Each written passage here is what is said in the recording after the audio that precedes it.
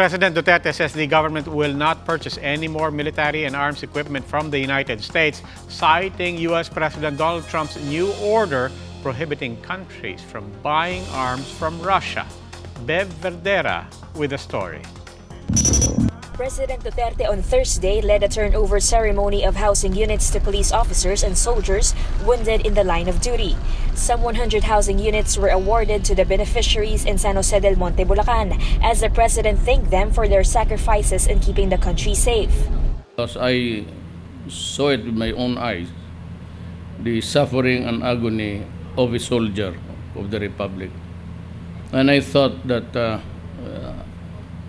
Baski na pa paano, we can make things easier for them. They go there to die. And some of them will die. Kaya yan ang, yan ang hirap dyan because that is the theory of, of their life.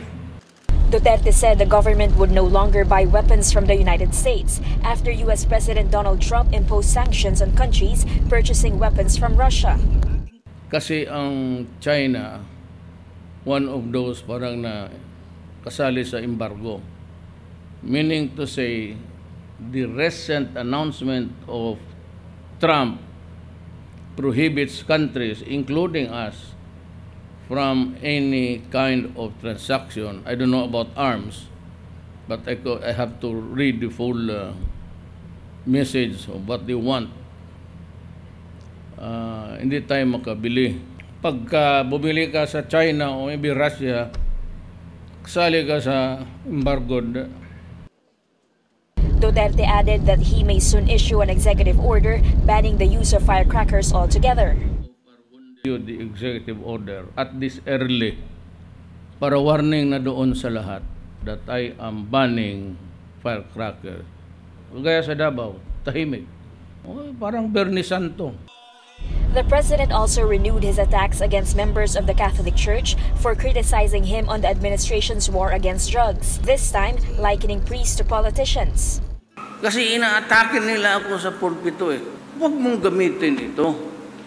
Kasi palang liberal party ka na rin o PDP laban ka dyan sa salita. Bakit mo ako ganunin? He then encouraged the public to read books entitled The Popes and Altar of Secrets so that Filipino Catholics may know the painful truth about priests and bishops. Abangan ninyo ang Holy Week. Dito ako magpalansang sa krus sa Bulacan. Ah! Totoo. Pero wag naman matagal. Ah, Siguro mga 30 minutos ka naka... For News 5, Beverdera, We're One News.